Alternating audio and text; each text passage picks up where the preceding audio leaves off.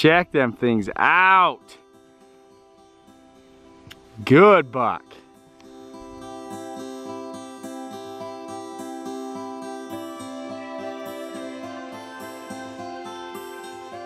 Well, it's a beautiful day in the neighborhood. Today I am selling my antlers. Um, my partner that I work with has an antler buyer. He's coming to town. And uh, we are gonna grade and weigh and sell all these antlers that I have been collecting and buying over the last, oh, this is about the last month or so. Uh-huh. There they are. All the deer in the front and all the elk in the back stacked to the ceiling. So it's gonna take us a couple hours to go through and grade them all and weigh them and count them and make sure everything is there and accounted for. But um, it's gonna be a good day. Gonna get paid for about the last month's worth of doing work and uh, well, it's gonna be fun.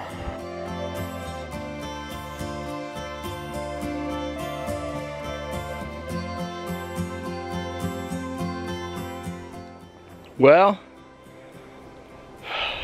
here we are. I drove a couple hours this morning. I got a day and a half to shed hunt. The weather's been kind of crummy, but actually kind of how I like it. I'd rather have it cold a little bit, way better than hot. I can go so much harder and don't have to worry so much about rattlesnakes. But I'm walking up into this spot. I'm just kind of heading up the ridges and started reflecting on some stuff, man. Mother Nature, she can be cruel, you know? There's no doubt about it. And uh, there's a lot of things in nature that are cruel. There's mountain lions and they kill the deer sometimes. And I always just wish that these deer could get a couple more years on them, you know? Let them grow up a little bit and then uh, you wouldn't end up with stuff like that. as you guys know, those are the keys of speculation when you find a deadhead. You got to do all that stuff. He's hard white and he's kind of a cool, heavy, kind of tall deer, but I don't think I'm going to be taking him home. Probably not worth the hassle.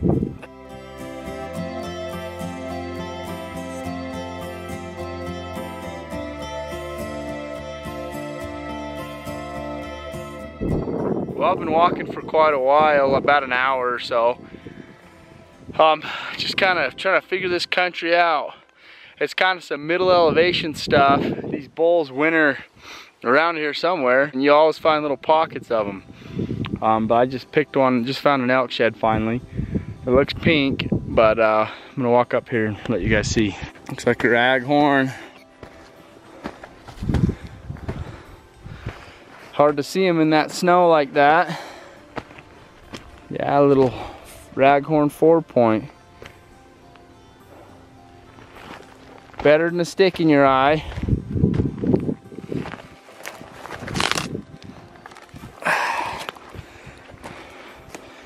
kind of old, but sweet. Well, that at least gives me a clue. There was a bull that wintered here at one time.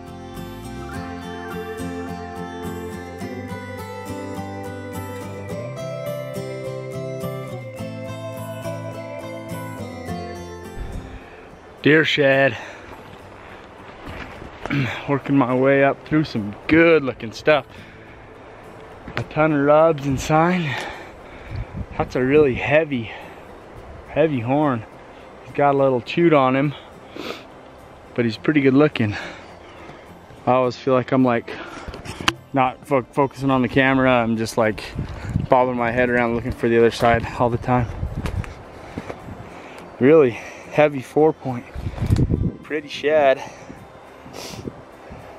It's always encouraging because it means that you might be in some fresh country.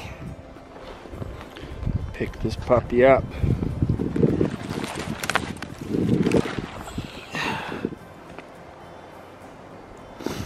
Old. Pretty cool. Got onto this hill and Found some feed that they like. I had a feeling it was gonna happen here.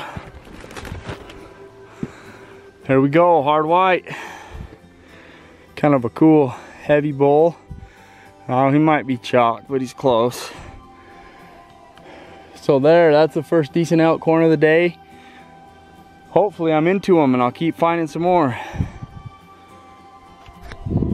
So there's a technique that not, not too many guys know about and uh, it's called calling for sheds. You can actually call in antlers.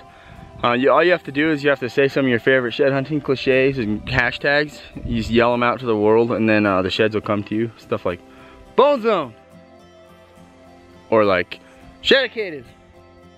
Something like that. See, I was just doing that right now. And check this out. Boom, it worked. White sixer right there. I told myself I was gonna hike for an hour, then I gotta head back for town. So uh, that's at least one of my little morning hike. You guys, I tell you all the time, I'm not a deer guy, I'm not a deer guy, I'm not a deer guy. I just lost my shiz when I saw this right here. Look at that set, baby! Side by side. Check them things out. Good buck. Go check them out. I haven't even been up to them yet. Oh, look at that hook cheater off the back. Yeah! Look at that thing. Yeah, baby! bladed out on the back end. Oh my goodness, I don't usually get that pumped about deer, but that has a freaking, oh, you got a cheater there too. Yeah! Oh man. Holy crap, I'm so excited about that. Check these things out.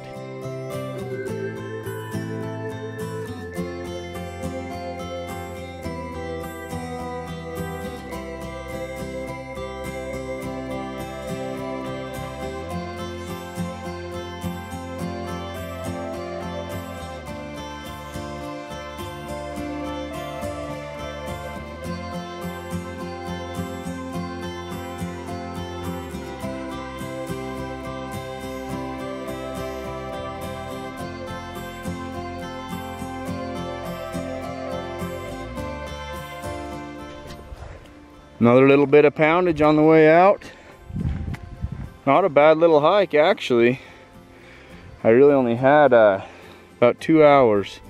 I got that elk shed, that gnarly deer set, and that elk shed. So I'm pretty pleased actually. Now I'm gonna head back for town. Well, maybe I'll get another one on the way.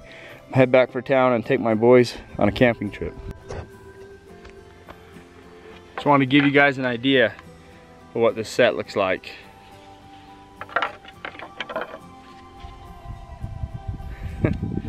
pretty good buck. Got that big long hook cheater on him and big deep forks, good mass. That's one we need to find and get killed out here. Weems. Weems. pretty good deer set.